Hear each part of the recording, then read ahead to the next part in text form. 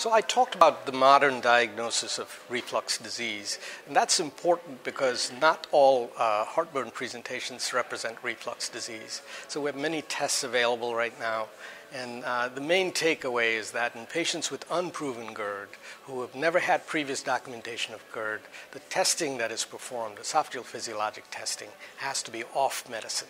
It is only in patients who have proven GERD that uh, testing is done with a pH impedance study on medication.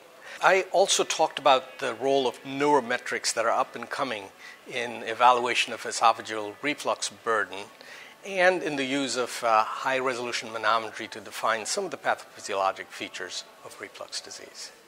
So, not all heartburn is reflux, and therefore, if patients don't respond to a therapeutic trial uh, of acid suppression and if they don't have abnormalities on an endoscopy, it'll be important to perform ambulatory pH testing, which will allow a decision to be made regarding continuation of PPI versus discontinuation of PPI and some other management approach.